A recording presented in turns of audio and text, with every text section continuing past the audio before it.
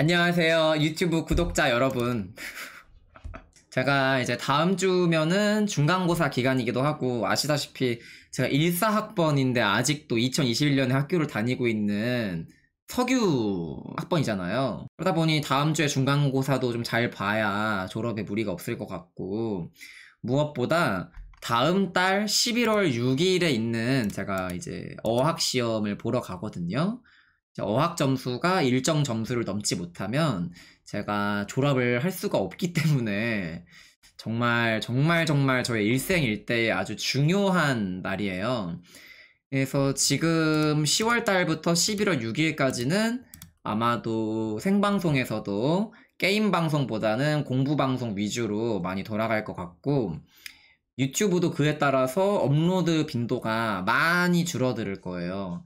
그래서 일주일에 영상이 뭐 한두 개 정도밖에 안 올라갈 수도 있어요. 그래서 제가 최대한 열심히 다 병행하면서, 물론 지금까지도 그렇게 해왔지만, 어, 이 기간에도 유튜브를 막, 한 2주 동안 영상 하나도 안 올라가. 이런 일은 없을 거예요. 최소한 일주일에 최소 하나 정도는 제가 영상을 올리도록 할 거고, 이게 오래 갈 건 아니에요. 11월 6일까지만 이렇게 버티면 되거든요.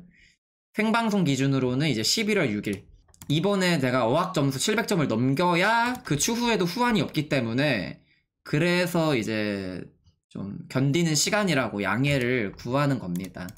생방송에 찾아오시는 골스분들이나 아니면은 지금 구독, 유튜브 구독으로 봐주시고 계시는 분들이나 다들 낮은 게임 방송 빈도에 많이 실망하시지 말라고 미리 제가 이렇게 공지를 드리게 되었습니다. 퐁퐁이 방송을 접고 이런 게 절대 아니니까 걱정하지 마시고 어디 너무 한눈 팔지 마시고 퐁퐁 방송이 11월 6일부터 정상화 될 거니까 감사합니다 여러분. 다시 인사드릴게요.